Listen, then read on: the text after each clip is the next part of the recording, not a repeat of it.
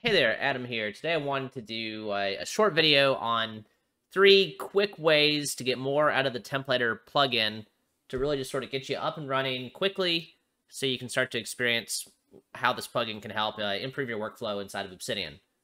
So the first quick tip is how uh, I think that a broader template is better than a more narrow template in general. So I'm going to use my example. It's labeled phone, but really I use it for just about everything now. So here is my template. Pretty simple. So the templater uses this bracket formula. Bracket I with the, uh, whatever you call that, percent sign symbol. And then this is just going to put the date. And then I just got a topic, a dividing line, where this is where I'll, I would type out the content of the note. So using this as an example, example template. You've got the data creation, and then for the video. And then you can just type out whatever you want to talk about. So I think that broader is better, generally speaking. So I have a number of different ones. I uh, like this literature one, which I'm going to show you in a second uh, for one of the other tips. But this broad template, I probably use 90% of the time. It's still labeled phone. I may change the name. It doesn't really matter. Uh, and you just have your topic of whatever the note's about. So whenever I, a lot of times I do use it for the phone. Someone calls, topic will be the name of the person I'm talking to. And then I type out what I need. And then, you know, you can always add links to whatever you want up in the header as well if you'd like to.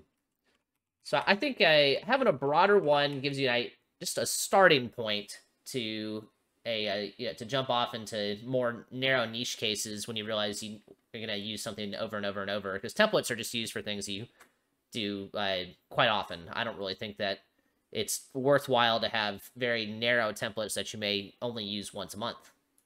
So again, this is the my very basic sort of all use cases template. I very rarely will make a note or will make a new uh, file without using this, I, at least this one.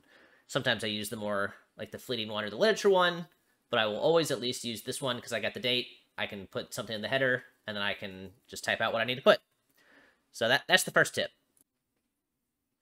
So the second tip I want to get into today is the use of hotkeys, or in this case, the Quick Add plugin.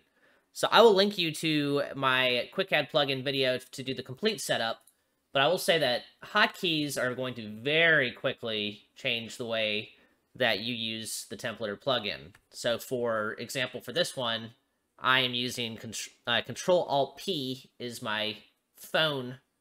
I plug is is basically the quick add link to my phone template.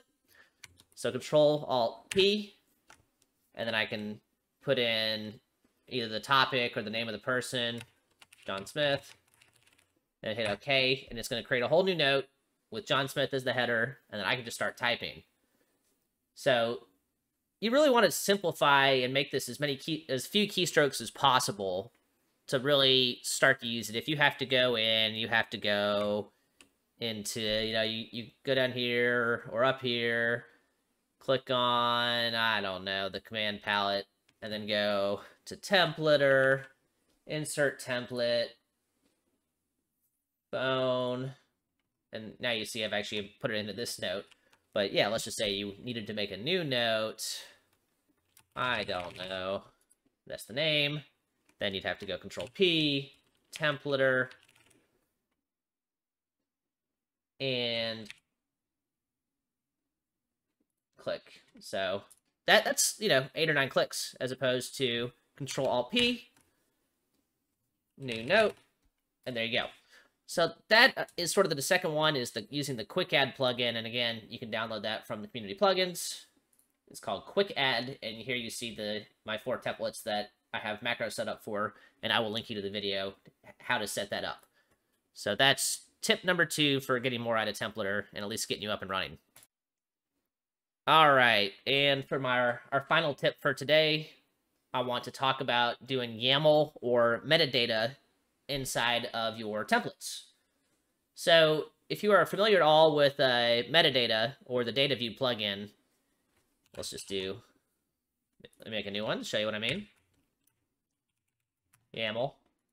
So YAML always goes at the top of the note. You type it with three of these, three of these, and then metadata metadata goes here.